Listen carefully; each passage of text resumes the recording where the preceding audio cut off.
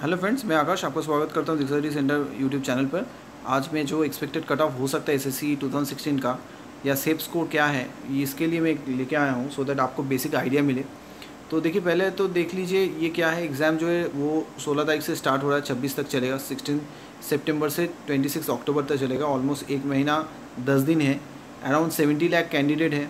और SSC site में जो अपडेट मिला गया है, जो आपको देखिए एसएससी एक दिया है जो प्रैक्टिस पेपर एम के लिए वहाँ पे जाके आप अगर अपना आईडी यूज़र आईडी एंड ये देंगे तो वहाँ पे पता चलेगा आपका जो क्वेश्चंस है वो हंड्रेड क्वेश्चंस आने वाले हैं और टाइम ड्यूरेशन जो है डेढ़ घंटा है नाइन्टी मिनट्स है। तो लेकिन सेक्शन में कौन सा सब्जेक्ट में क्या क्या आएगा वो नहीं दिया हुआ है। तो एक आ, हो सकता है एक में हो सकता है जो आज में ट्वेंटी ट्वेंटी फाइव क्वेश्चन करके चारों सब्जेक्ट से क्वेश्चन हो या नहीं तो मैथ्स और रीजनिंग में ट्वेंटी ट्वेंटी और बाकी थर्टी थर्टी आपका इंग्लिश और जीके में हो सकता है। तो चलिए देख लेते हैं इस बार क्या प्रोजेक्टेड कट ऑफ़ हो सकता है। उससे पहले अगर चैनल को सब्सक्राइब नहीं किया तो काइंडली सब्सक्राइब कर लीजिए और बेल आइकन को क्लिक कर लीजिए। तो देखिए इस बार क्योंकि वैकेंसीज ज़्यादा हैं इससे पहले आप कोई भी 2013, 14, 12 में भी या 15 में भी आप वैकेंसीज टैली करेंगे तो वैकेंसीज बहुत कम होता था।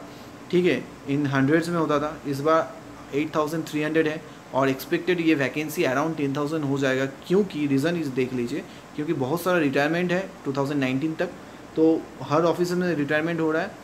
तो ऑब्वियसली ये कट ऑफ़ जो कट ऑफ़ बोल रहा हूँ, ये वैकेंसीज जो है डेफिनेटली इंक्रीज़ करेगा।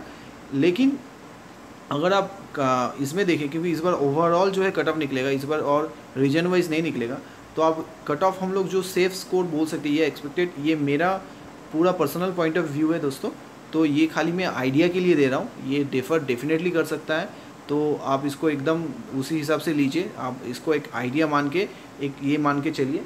तो देखिए क्या हो सकता है कट ऑफ़ जनरल के लिए आउट ऑफ़ हंड्रेड में बोल रहा हूँ।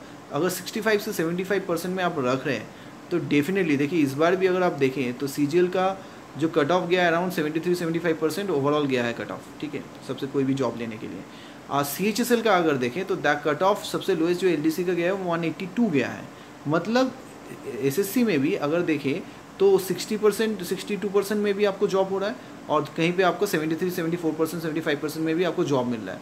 तो ये डेफिनेटली ये वैरी करता रहता है, कौन सा एग्ज़ाम क्या है। और क्योंकि देखिए सीजीएल हमेशा बहुत ही अच्छे स्टूडेंट्स जो है अपेयर करते हैं तो कंपटीशन हमेशा टफ रहता है। और थोड़ा सीएसएल में देख लीजिए तो उतना कैंडिडेट इंटरेस्टेड नहीं है तो कट ऑफ़ आपका सिक्सटी परसेंट में आ गया है। और और एक पेपर कैसा होता है टफ होता है, कैसा पेपर होता है, उसके हिसाब से भी होता है, क्योंकि इस बार ऑनलाइन है तो बहुत सारे जो है सेट्स होंगे तो उसमें भी आपका चेंज हो सकता है, क्या है, नहीं है तो वो भी डिपेंड करेगा। टफ़ कैसे पेपर होगा, उसके ऊपर डिपेंड बहुत सारा डिपेंड है तो आप जस्ट इसको ओवरऑल आइडिया के लिए मान लीजिए तो जनरल के लिए 65 से 75 ओबीसी के लिए 55 से 65 एससी के लिए 45 से 50 एंड एसटी के लिए 40 45 ये मान के चलिए, ये बहुत सेफ़ स्कोर होगा, अगर आप इसको कर सकते हैं, क्योंकि वैकेंसीज ज़्यादा है।